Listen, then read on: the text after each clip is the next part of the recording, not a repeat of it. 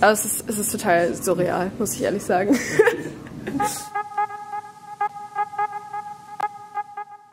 Hi, ich bin Kathi, ich studiere Medizintechnik an der OVG Magdeburg und heute mit mir hier ist Peter hinter der Kamera. Hallo. wir sind heute hier, um uns das neue Medizintechnikgebäude vom Campus Stimulate anzugucken und wir wollen heute mal sehen, welche so alles drin sitzt, was für coole Geräte wir hier haben und wo könnte man da besser anfangen als beim MRT.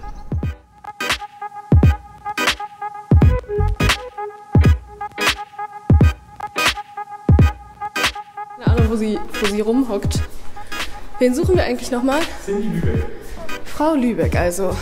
Genau. Äh, wo sind wir hier? Ah!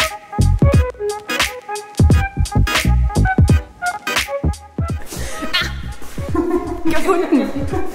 Hallo? Ja, wir haben gerade schon wieder rumgeirrt. Ich kenne mich hier immer noch nicht aus. Noch nicht? Nee. Warst du schon das zweite Mal hier? Ähm, ja, das stimmt. Das war irgendwie gerade nicht das Intro, das wir haben wollten. Ich, ich, kann, ich kann nicht so gut reden, aber ich hoffe, das übernehmen Sie heute für mich. Aber wir können gerne beim Du bleiben, weil wir versuchen. Oh, okay, sehr gut. Wollen wir mal Wollen zu... wir mal zum MRT? Ja, ja, das, Ja. das hört sich sehr gut an. Äh, wie auch im Krankenhaus haben wir hier, müssen wir markieren, dass äh, wir äh, praktisch einen Raum haben, der vom Zutritt her beschränkt ist. Das heißt, Patienten mit Herzschritt machen oder allen implantierten Sachen, die äh, ferromagnetisch sind oder die beeinflussbar sind bei einem Magnetfeld, dass die halt vorher Bescheid sagen oder den Raum nicht betreten dürfen.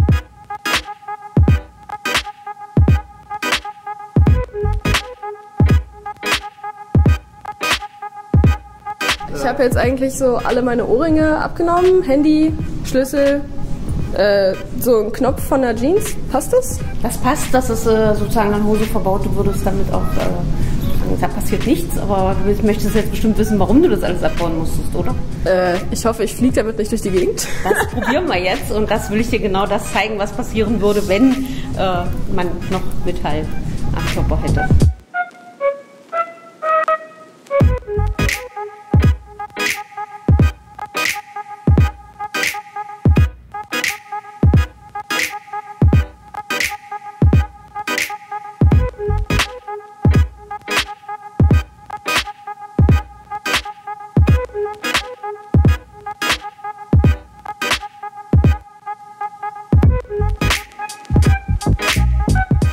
Okay, und äh, was, was würde jetzt passieren, wenn ich den loslassen würde? Das Also, möchtest du wirklich sehen? Ja. darf ich?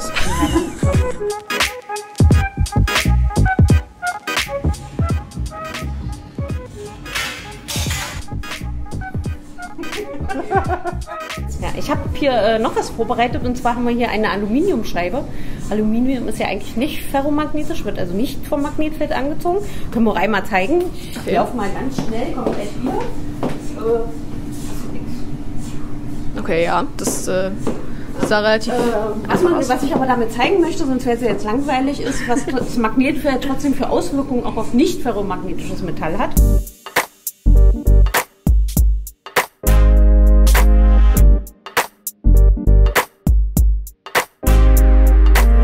War, wie in so einem, äh, so einem super äh, dickflüssigen Gelee.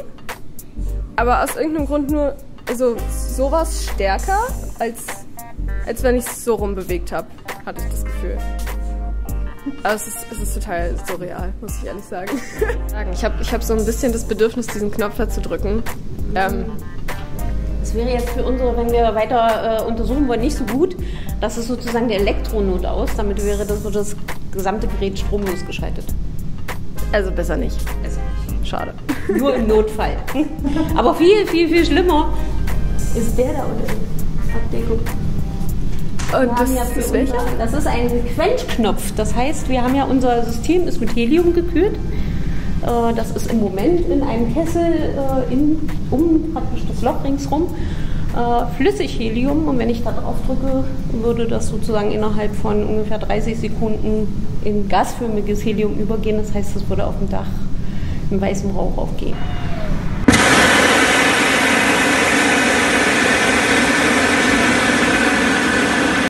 Okay.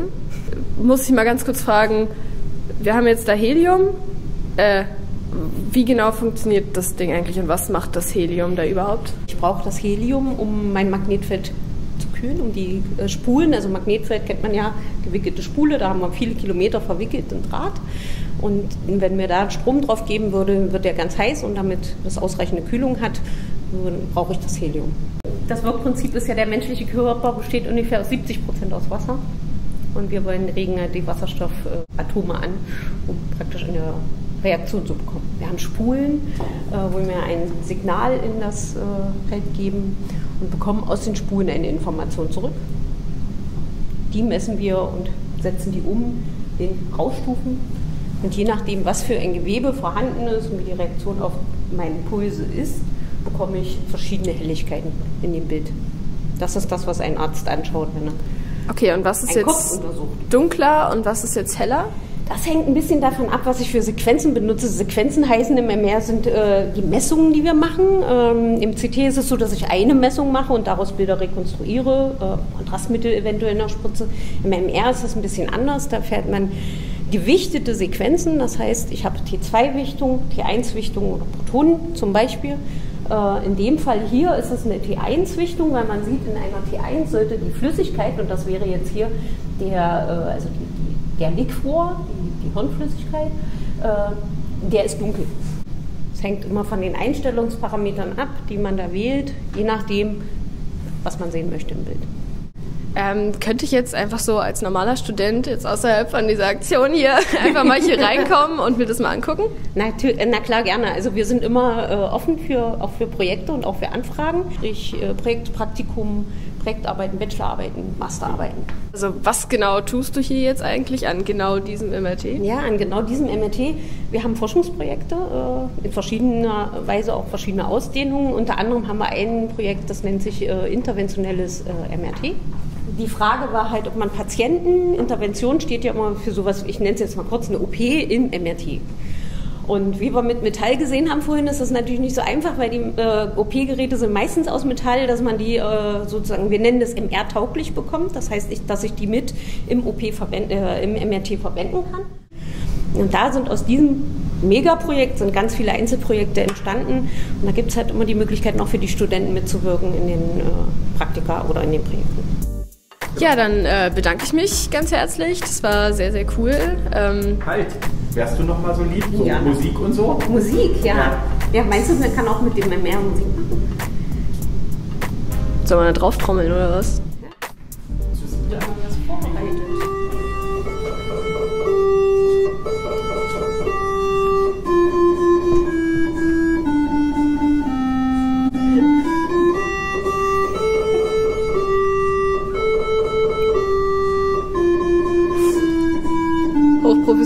Aufnahmen hier. Aber normalerweise so.